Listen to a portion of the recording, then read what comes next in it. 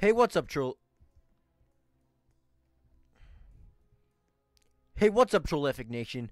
I'm bringing you back another Roblox 2017 Egg Hunt tutorial video. And today, we're in the Timeless Desert, going to get the Egg of Ra, which is this egg down here. Now, it's, now it's a cool little egg. It's uh, based on the Egyptian god of Ra, so let's go ahead and get to it. Uh, just follow my character to the location, and we'll get there in no time. This is a spawn right here. It looks like a little Greek gate. And then the egg uh, entrance is going to be down here. Not too far from the spawn. It's quite easy. If you have good graphics, maximum graphics on, you should see it right away. So yeah, let's go.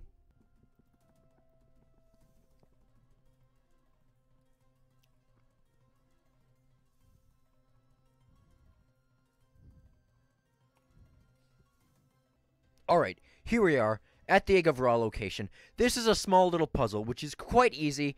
I didn't have any trouble with it, well, except the first time. What the heck happened? Oh my god. I have no idea what just happened. Anyway, we're going to press E to activate. Now, this is a puzzle. It'll tell you how to do it. You gotta match a symbol on the left and avoid the red fields. Use the WASD or the arrows to move.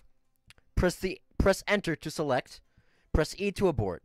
Alright, so we gotta look for the little tied knot. So we're gonna go over here. Press enter. There it is. Now we gotta look for the yak. So the yak is all the way over here. Press enter. Now we gotta look for the crying baby. Alright, here's the crying baby. Press enter. Now we gotta look for the guys dancing and holding hands. Here they are. Press enter.